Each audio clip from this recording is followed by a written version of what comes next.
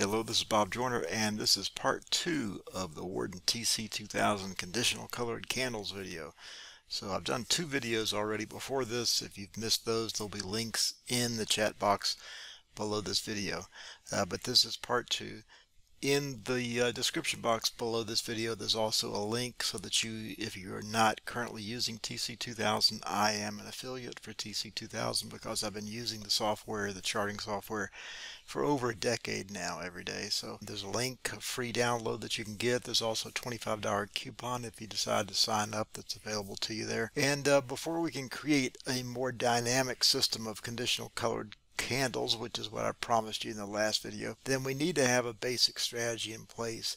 And that strategy needs to include at least a baseline for determining trend and distinguishers for determining momentum. You can add more to it than that, but those are the basic layers that you would need for any kind of a strategy setup and for doing layered conditioned candles. All right, so let's go ahead and jump in there. So in the last video we talked about how to create a conditional colored candle with TC2000. I'm not going to repeat all that information but there's a link in the uh, description box below this video where you can go and check that out if you want to. In this video what I'm going to do is I'm going to show you how to use those conditional colored candles in a variety of ways. The first way is by actually plotting your strategy by color on the charts that you don't have to look at half a dozen indicators when you're trying to decide uh, if a chart and a stock or equity, whatever, meets your criteria. So in order to do that, that assumes that you have a strategy that you can plot, right? So what I'm going to do is I'm going to give you a simple strategy and then I'm going to show you how to plot it. So the simple strategy always involves at least two things. One is a baseline of where do you delineate what is a bull from a bear. Now that can be a certain tipping point in the chart, that can be a EMA crossover, it can be a variety of things, but it's a, a cutting off point where you say there's a high probability if this happens then that happens, right? So we're going to use a pretty standard uh, EMA ribbon for that to determine trend. And then on top of the trend, what we want to do is we want to add another indicator, at least one, that helps us distinguish within that trend high and low points for entries and exits. And we want to measure momentum. So we want to measure trend with one indicator and we want to measure momentum with another indicator. So the two that I've chosen to measure trend what we're going to do is we're going to go up here and just create a simple uh, EMA ribbon using the 20 and the 50 EMA. So I'm going to go up here to this green button and I'm going to add moving averages to price. I'm going to add another one here. Both of those are exponential moving averages that I've simply added to price. Okay, the first one I'm going to put 20 period. We're going to leave that yellow. And the next one we're going to leave at 50 and color it blue.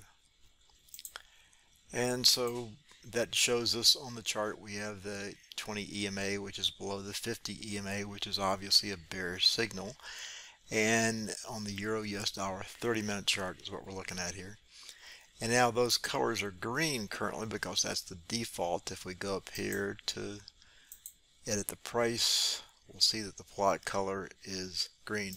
I'm going to change that to white as our basis. Okay. So the next thing I need to do is I need to create the basic color that's going to determine this basic trend. So for example, if the EMA of 20, I'm going to create a condition here, if the EMA of 20 is less than or below the exponential moving average, if you can see that here, below the exponential moving of 50. Okay, now I'm going to save that and I'm going to call that 20 EMA less than 50 EMA. And move that up just so you can see. So I've just typed in that condition so I can save it.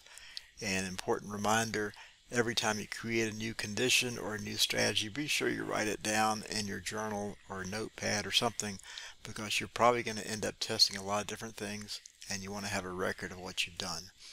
Now while I'm still, still in the same window, I can go ahead and say another condition that I want to create is the exponential moving of 20 is above the exponential moving average of 50. So that's right down here. And I'm going to save that as well. And say 20, move that up so you can see it, 20 EMA is greater than the 50 EMA. Alright, so I've saved those two conditions, right? Now what I want to do is I want to go over to price. There's different ways of doing this. I'm just showing you a simple process that I use. I'm going to go up here and I'm going to edit price. Now after you've created some conditions, the you know TC2000 may pause about 10 or 15 seconds, so just be patient with it as it creates that condition. And so now I'm going to go up and edit this price. So in this case, what I'm going to do is I'm going to go down here in color bars, you'll see, I'm going to add a color. So what I'm going to do is I'm going to add a pink color, just a light pink color to distinguish these candles. And I'm going to add that EMA 20. I can go up here and search my conditions and say 20 EMA is less than the 50 EMA and it pops up the top here. I'm going to simply press OK and that's going to plot that for me. And now I'm going to add the color of light green, right? I'm going to add the condition that I also created, the 20 EMA is greater than the 50 EMA, right in there. Click OK. And so now I've got two basic colors on my chart, right? I've got the light pink color when 20 is below the 50 and I've got a light green color when the 20 is above the 50 and of course that's going to vary depending on what the trend is and what equity or stock or whatever I'm looking at at the time right but it's going to reflect just exactly what I said right so so far so good so now I'm going to add another in indicator. In this case, I'm going to choose the Fisher transform. And the Fisher transform's there. And I'm going to leave it there, the default setting, but I'm going to add something to this. I'm going to add a plot. So I'm going to add an exponential moving average of 5 and that's an exponential moving average 5 of the Fisher transform. So it's kind of like a subplot there. So I'm going to color that blue and change it to 5. Right, so 5 EMA exponential moving average of the Fisher transform. Click OK. And that gives me this. Okay. Now, if I look at that just for a second, what I see is when does the Fisher transform in this case inform me of high momentum situations or non-momentum situations. So when price consolidates, overall the general rule is Fisher transform will move above its 5 EMA. That does not mean it's a bull. It does not mean it's a buy. It just means that the end of that strong period of momentum going down has ended. And so you could be out of the trade during that point and then wait for it to cross back below the 5 EMA again, which it does right there. Okay, so how do we plot that? So we need to create conditions again. So the first condition I want to create is the Fisher transform. Create a condition. And I want to say the Fisher transform is below the exponential moving of 5. Okay, and I need to save that condition.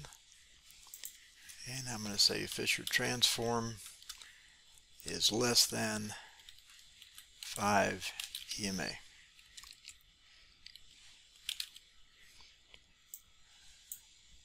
Alright, and I'm saving that. And then while I'm here, I can also say Fisher transform is above exponential moving of 5. and save that as well.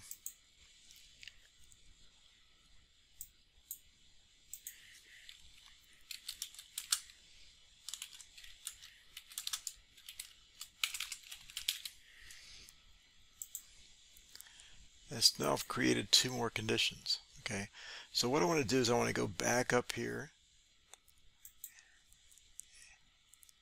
and give TC, TC2000 a second to build that condition. Click on it and edit. Now what I want to do, and I can break, you know, expand this box out so I can see what I'm doing better here. I've got these two basic colors based on the 2050 EMA. So I want to add a color now. Okay, and the color I want to add now is a little bit darker a red color. And I want to add two conditions in this time. First I want to add back the condition that I did before, which was the 20 EMA is less than the 50 EMA, which I already had, but now you see this little plus sign right in here. So I'm going to add now the one I just created about the Fisher transform. Fisher transform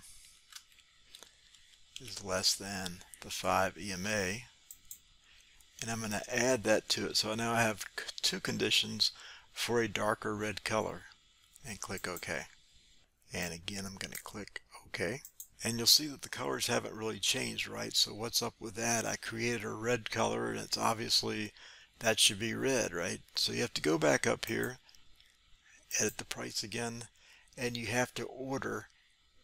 So the darker the color, you want that to be on top, all right? So we have to use this little area to increase the priority because that's the most important thing.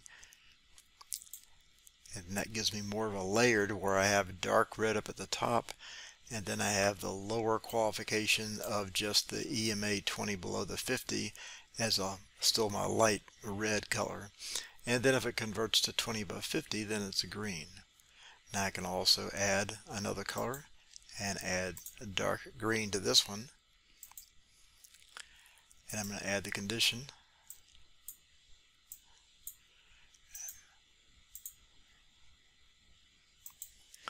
of the 20 EMA greater than the 50 EMA and tack on the other condition related to the Fisher transform, which is Fisher transform is greater than the 5 EMA, which is there. And I have that plotted as green, darker green, and click OK. And now I've got two different colors here, right? I've got two different shades of red. I've got two different shades of green based on the criteria that I just created. Now see how that looks. So if we look at this way, what's happening is that we have these darker red colors as momentum is going down. We want to make sure we're short during that period. When it comes back to pink, we want to use partial exits, stops to control our risk. And then when we come back into strong momentum, we want to be short again. And again, partial exits, movable stops. And it goes like that, as you can see. Now you're going to have chop in any kind of system. In any kind of equity, you're going to have chop, right? But you can see that what that does is it kind of delineates for us uh, those high momentum parts.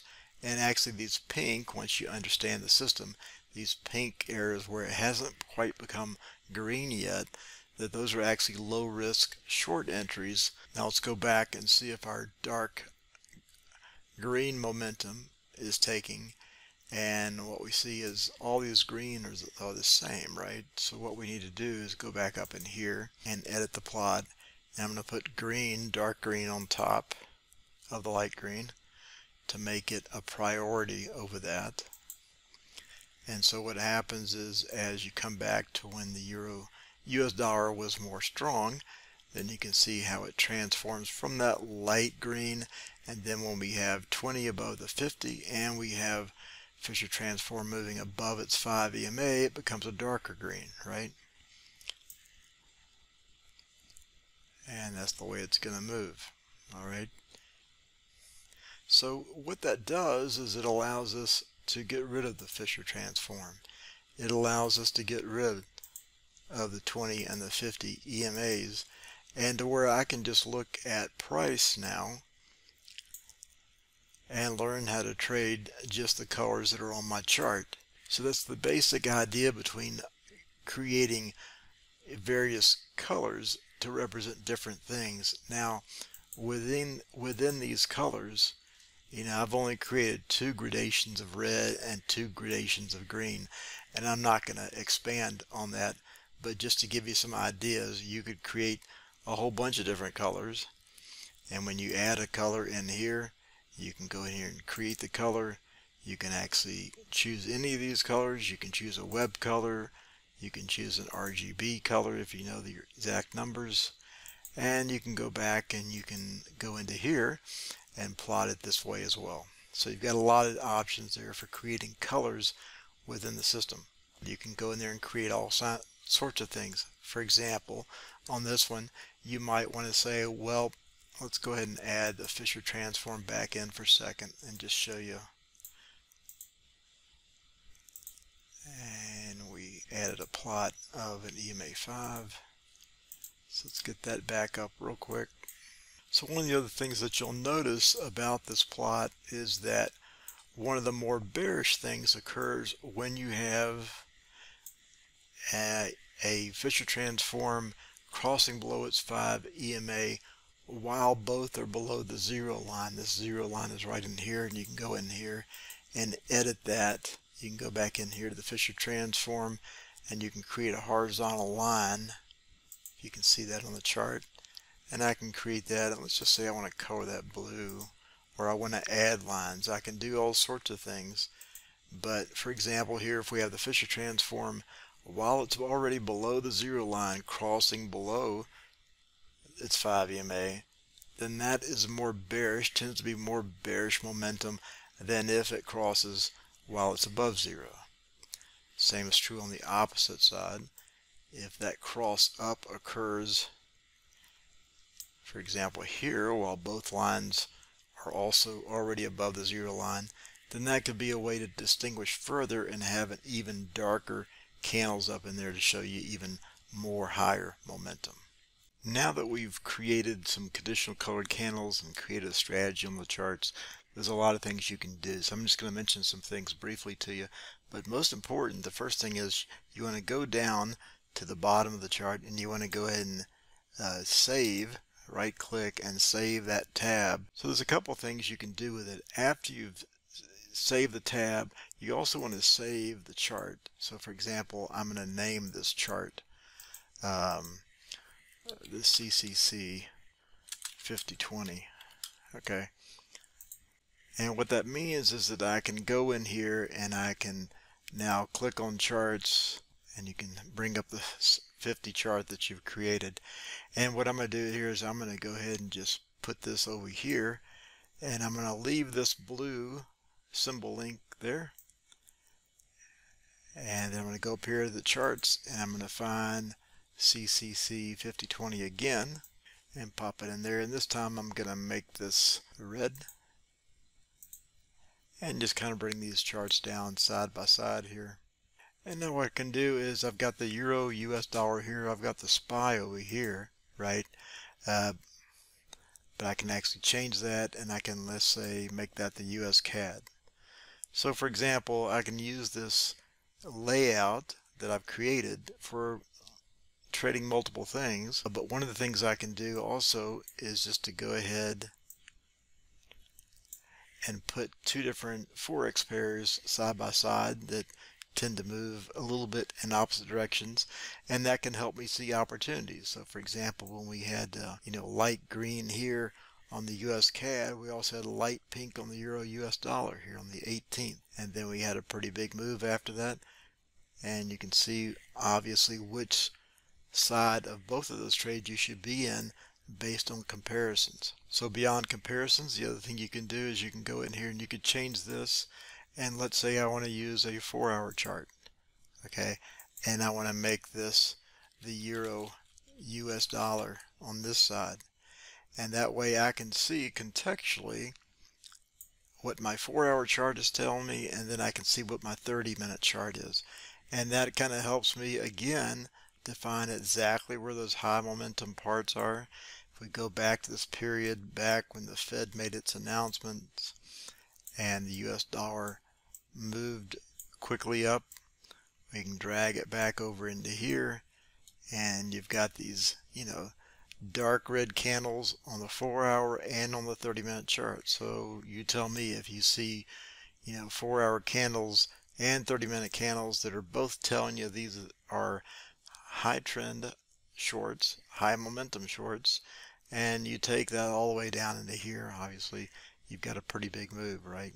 So you can use contextual charts use the same setup or create a different setup to create a context on the left for your chart on the right. So you can do comparisons you can do context. The other thing I would mention to you is as you get comfortable using the conditional colored candles those dark colors if you've got momentum figured cor correctly then as you see those dark momentum candles then uh, you know that price is probably at an extreme.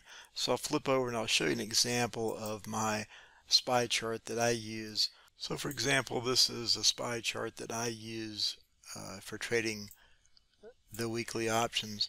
And I've got the conditional colored candles and I'm not going to give you my whole configuration there. But you can see I've still got some other indicators on the chart. But when I see these high probability trends I know that I should be you know taking partial exits um, especially if certain other things occur. In a downtrend for example I knew that these pop-ups on the dark green up in here since the trend was down, I was watching for these dark green candles up in here that showed me high momentum, a push back up, and that was occurring within the context of other charts that I've got for the for trading the SPY. So when you get these dark green candles, you know you're probably hitting an area of resistance overhead and you can create good opportunities for getting into those short positions when you see those dark green high momentum long candles within the context of a bearish momentum. All right, so just several different ways in which you can use the conditional colored candles. I hope that you have fun playing with them. Be sure to save your work. And if you don't have TC2000, give it a try. There's a link in the description box below this video. Thanks for watching.